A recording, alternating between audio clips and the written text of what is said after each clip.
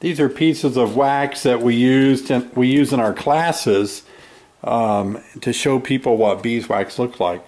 Look at this piece of comb here, how it's darker here than at the top. And it could have been stained by darker honey, uh, and that's probably what I would guess it to be. Some people say it could be where they had brood, and uh, that might be a possibility too. But it looks like it's just been stained from some darker honey to me rather than brood area.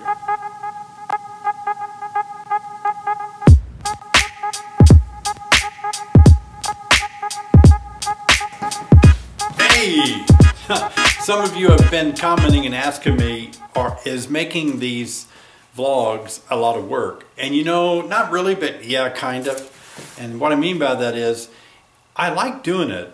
It's not that um, time consuming as you might think. What's time consuming is setting up everything. Like if you want to make a, you know, to make this scene right here, I'm having to put the camera on top of this, on top of that. It's not tall enough. I got to put something underneath that and it's just setting up the scenes I think that take more time because um, I don't hold I don't have anybody to follow me around and hold my camera for me so I have to put the camera where it goes and you know so that's what takes more time okay so hey look at this you know what this is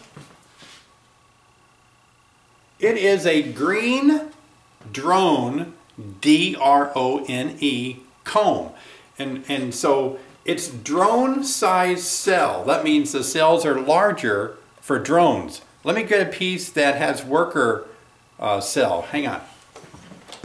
I'm coming, I'm coming, I'm coming. Okay, here we go. Here's a piece of natural comb.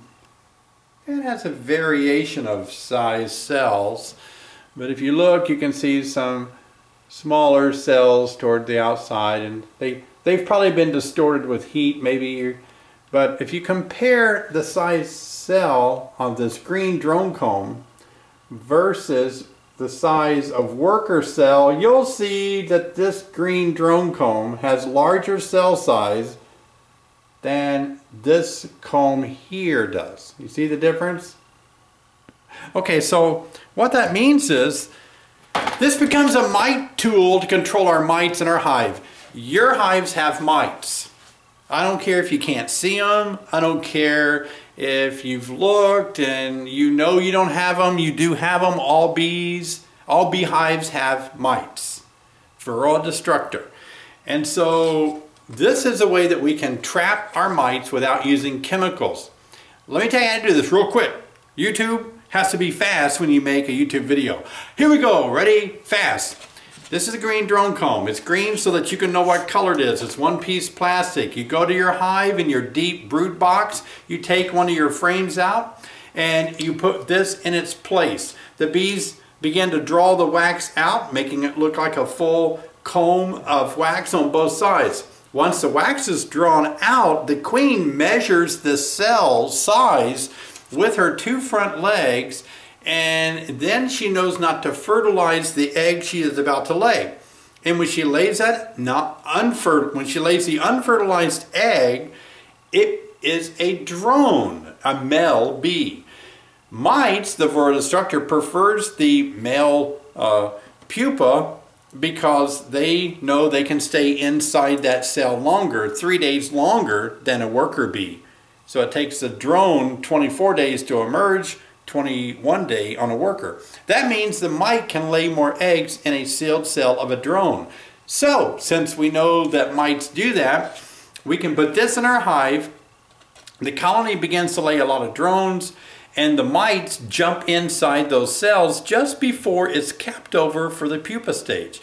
And at that point, when this frame is capped over, full of drones and now mites, you take it out of your hive, you go to your freezer, take out the wedding cake that you're not ever going to eat and slide this in your freezer and let it freeze for two days. One day might do it, but two days for, will do it for sure. It will kill all the drones, but it will kill all the mites. If your colony needs more drones, they will certainly raise those.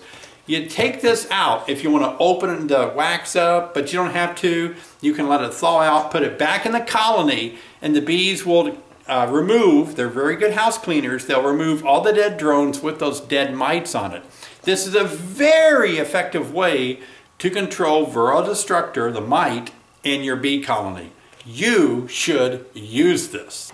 Okay, so somebody has stopped in uh, to our uh, store today to pick up some things and uh, I decided to uh, ask him a few questions. His name is Dale and no. So Dale, I was amazed that you were able to catch that uh, uh, hive by just putting a box out. Was it a was it a full size hive or a 10 frame hive or what? It was a, I believe, a 10 frame hive. Did you have two deeps on it or just one? It was just the single box, Yep. holes drilled on each side, about a half inch, Oh, and then I hung it up, say about this high, on a oh, fence, and had the lemongrass seed oil on a paper towel inside of a Ziploc bag, mm-hmm. and there was probably maybe four or five frames actually in the in the box. Oh, and then so it had space between the four frames, like a Yes. 10 frame box. And so what happened, uh, how long did it take once you put that in there for the bees to, for a swarm to land there? I'd say within the first week, Oh, and then I was surprised because then about a week later they were all gone, Hmm. and then I would say within a month they came back and quite a few of them. you think it was the same swarm or a different swarm that came in the second time? My guess is this is the same one, but I'm not sure. Mm-hmm. Yeah. Was it as big as the first time? It was much bigger. Oh, the first yeah. time there was only just a few, and then the second time was actually them coming So the first time you saw some come in, how many do you think there were? Maybe under 100, 200 maybe at the Hmm. most. Yeah. And then how long was it from the time you saw the, the first few until the whole bunch came? I'd say about a month. Wow. See, I would, I would, I thought for a minute that it could have been scouts Okay. that were scouting, and then they, they finally, you know, convinced the whole swarm to come in there. But that's a little bit long, I think, to be it scouting. may have been sooner, just my time of checking it. Yeah. Interesting. Wow. So that's rare for people to put a hive out there and catch a swarm like that, you know. But there's a lot of people today that want to try that because they feel like, you know, that that I'll save money not buying a package. Yeah. And uh, I think your lemongrass oil really did the trick.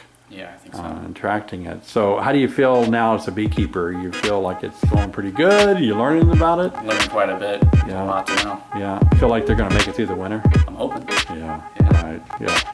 Well, thanks. That's a cool story.